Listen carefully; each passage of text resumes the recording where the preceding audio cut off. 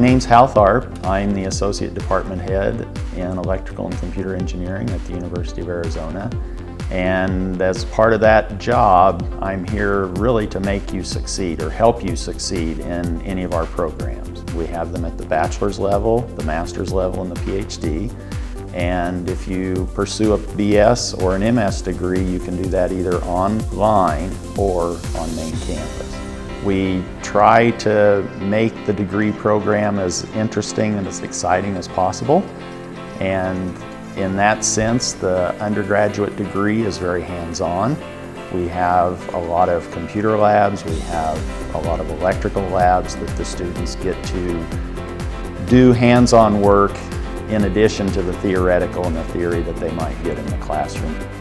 I like the opportunity to interact with many different people. I've taught freshmen, sophomores, juniors, seniors, graduate students. I routinely teach classes that are cross-listed or dual numbered, which means that they now are taught at the senior level and the graduate level and I have a mix of students and that different background now forces me to try to explain things differently so that if a student doesn't see it one way, they can maybe get it another way.